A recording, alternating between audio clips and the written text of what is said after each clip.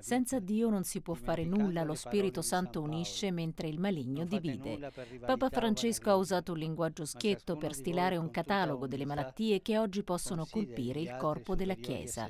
Nel corso di quello che ha definito uno stimolo e un esame di coscienza per prepararsi al Natale, il pontefice ha parlato della curia come di un corpo soggetto a tentazioni, pericoli che lo allontanano dalla vocazione al servizio, a diffondere la gioia del Signore. Quante volte, infatti, presi dalle tante occupazioni quotidiane, si cade nel cosiddetto martalismo, perdendosi la cosa migliore, ossia sedersi ai piedi di Gesù. Una tentazione che si espande lasciando crescere il pensiero del sentirsi immortali, immuni, indispensabili. Una curia che non cerca di migliorarsi, ha chiarito Papa Bergoglio, è un corpo infermo.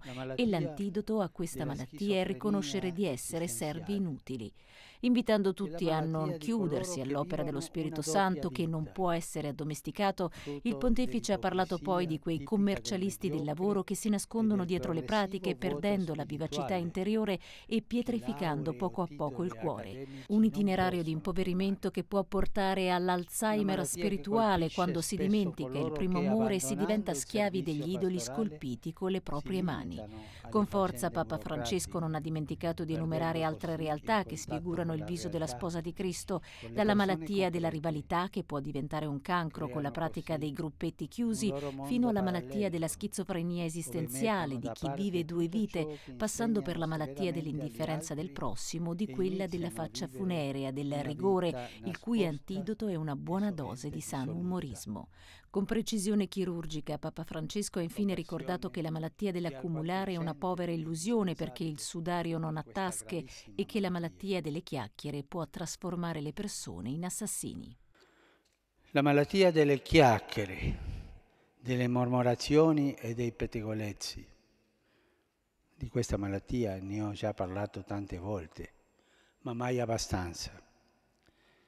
È una malattia grave che inizia semplicemente, magari solo per fare due chiacchiere, e si impadronisce della persona facendola diventare seminatrice di zizzania, come Satana, e in tanti casi omicida a sangue freddo della fama dei propri colleghi e confratelli.